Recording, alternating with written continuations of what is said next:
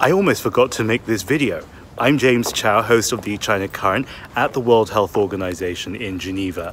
I was here a couple of months ago to chair some of the technical briefings at the World Health Assembly, which is the annual gathering of global health leaders. We talk all about emerging technology in those events. There are some exciting technologies becoming available, including medical robots and 5G.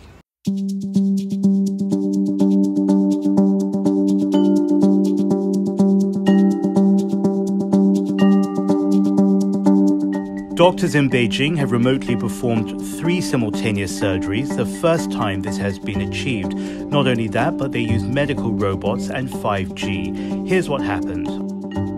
On August 27th, a surgical team in Beijing set up three operations in three different parts of China Tianjin, Zhangjiakou, and Karamay in Xinjiang. Thousands of miles separate them. The actual work was carried out by medical robots and supported on site by a number of human orthopedic surgeons. Robots can't do everything, but the advantage they have over us is their level of precision and accuracy. Now let's bring in 5G, which is up to 20 times quicker than 4G. Because it's so fast, it was able to respond almost immediately to the hand movements of the command team in Beijing. In fact, with 5G, the robots were able to respond in just 0.1 of a second.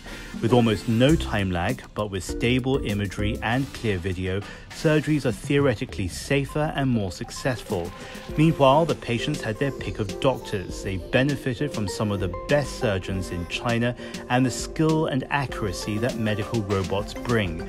Remote surgeries can be used for people who can't travel to major cities like Beijing and Shanghai.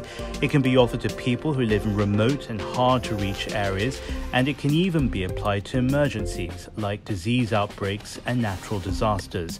I often hear that because of the internet, we are the most privileged generation in history, but I still worry that the richness of tech and innovation is reserved for those of us who have a power supply, a Wi Fi connection, and a high cost laptop.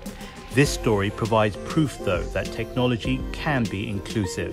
Good health and well being should not depend on who we are or where in the world we happen to be born.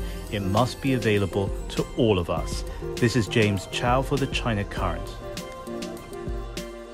Thanks for watching. I'm James Chau. We've got lots more videos, so like, follow, and subscribe at The China Current.